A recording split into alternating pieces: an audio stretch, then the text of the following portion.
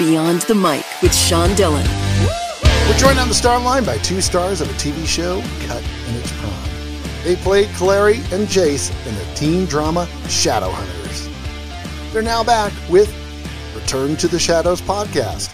We welcome Katherine McNamara and Dominic Sherwood. Thank you Hello, so hello. much. Hello, hello. Friends, let's go beyond the mic. There are projects in our lives that just hit people a different way. No mm. matter how short or mm. long it may have lasted, it just means more to them. How did this series mean more to both of you? Oh, I think I think it's the people that it brought into our lives. You know, it's it's interesting. We go through, and you know, if, if as an actor, there's one thing you're always sure of is that the project is going to end eventually, and usually the story ends there. And and you may take a few close friendships with it, but oftentimes you bump into people years later, and that's about it. But there's something about Shadowhunters that from day one was lightning in a bottle. Our cast got along so well from day one. We had such a special crew that maintained for the majority of the production.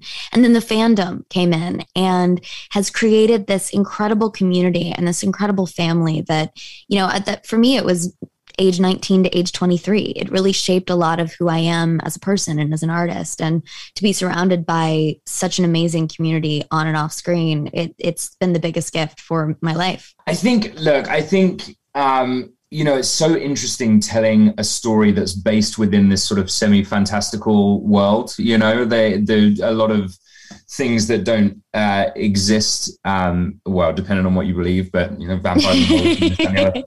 um, but the gift that we really got, and, you know, I, I, I mirror what Kat said as well. You know, the, there are people that I worked on on that sh- that worked with on that show that I will be in my life forever. But I think being able to hear uh, as an actor, as an artist, as a performer of any kind, really, to being able to hear from people who watch the show how much it meant to them is really special. It's a really special thing to hear that, you know, I do this job because I love it. Um, I, I love performing, I love creating these characters. And to hear that that character had an impact on someone else's life, someone's real life, um, is pretty amazing. Like I'm under no illusions of what I do for a living. You know, I'm not, I'm not a, I'm not a soldier. I'm not a, I'm not a firefighter. I'm not an EMT. Like I don't save lives every day. That's not what I do.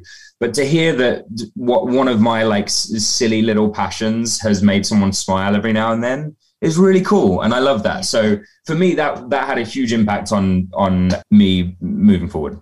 As you do this podcast, you share moments from behind the scenes that people may never would have known. Kat, why was doing that so important for you? Well, I think you know it's it's been seven years since we made the first season of the show, and and having that time to sort of step away and go work on some other projects, and then come back and relive this world and and so many fond memories, but also to remember things and and things that we may have may have forgotten. I don't know. And watching some of the episodes back, it's been so long since I've seen them and kind of relived those scenes.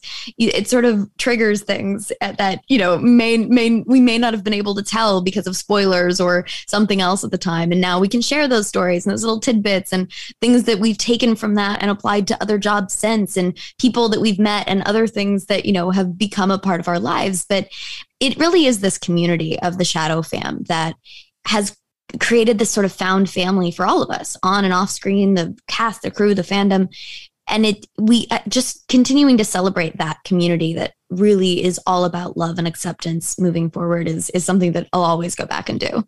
Katherine McNamara and Dominic Sherwood from the Return to the Shadows podcast joins us beyond the mic. And friends, it's time for the Rocking Eight. Eight random questions.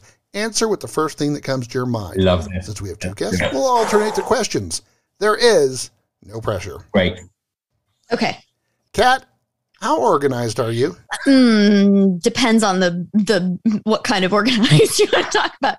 If it, I can pack and travel, no problem. When it comes to my work, pretty organized. Don't look in my closet. Dom, do you prefer movies with or without special effects? Oh, wow. Oh. That's this is just this the most impossible question. Um, special there are two types of special effects. There's physical effects and CGI. Um, Without CGI. without CGI, with practical effects, give me Tom Cruise all day long, baby. Give me Tom Cruise in a plane all day. I, I like. There's just nothing that compares. The the man's Yeah. insane, and you know that he's insane, and he's doing these insane things for the enjoyment of other people. I love that, and I love him, and I'll see everything he's ever in. If you've seen Maverick, don't tell me because I'm watching it next week. Concur. Kat, what song do you hate the most? Do I hate the most? Oh, uh, oh, oh. I wouldn't say I hate it, but and I, I definitely don't hate it. I guess the only thing that I'm really thinking of right now is there's a song that we played on set that was also a part of the soundtrack um, during the finale, and it's it's the song that Clary and Jace dance to in the wedding at the end when we have the big speech. It still makes me cry. It still makes me cry. Like th- four years later, I can't listen to it without sobbing. It's it's a problem. Dom, what topping should not go on pizza? Pineapple. Next. No. Next. Ugh. Ah, controversy in the Rocky Eight. Kat, have you ever ridden a mechanical bull? yes. I have because of this man right here, Yeah. and I'm I'm I'm pretty damn good at it. I will say. Surprisingly. Dom, who was the last person you texted? Uh, I can look it up right now. I think it was my dad. I was just talking to my dad. Yeah, it was my dad. Aw, Thanks, don't I say dad. hi? Yeah. Kat, what's one word that describes Dom to a T? Ooh. Brave. Hmm. Uh, um. Um is not a word. I, mhm. uh, I, okay, it's it's it's. I'm gonna hyphenate golden retriever because he is one of the most mischievous individuals I know, but has a heart of gold. Dom, what's one word that describes Kat to a T? uh, type A. That's not a word, but we'll allow it. Not, Not a wrong. word again. I'm going to hyphenate it. Uh-huh. Dom, why was working with Kat so special on Shadowhunters, and how would you describe your friendship now? Kat works hard.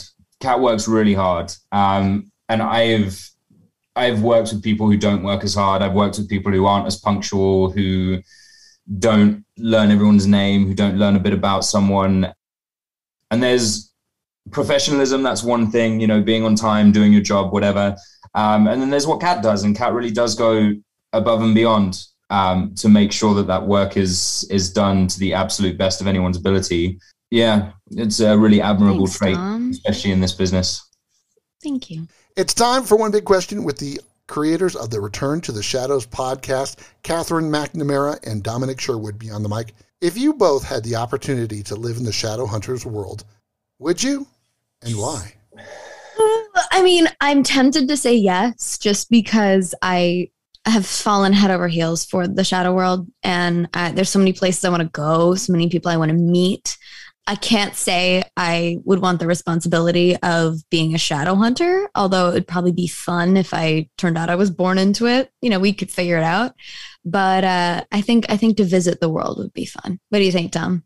Absolutely not. You are out of your mind if you want to live in this world. Mental. Just my character in three seasons. I got possessed. I murdered like 120 different people. My dad turned out to be Darth Vader. I got murdered. I got tortured. You are out of your mind. There's no world in which I will live in that. It's just insane. Like if you haven't watched the show and you're like, oh look, it's just like cool people dancing around with swords. It looks great. If you watch the show, you're like, no, this is mental.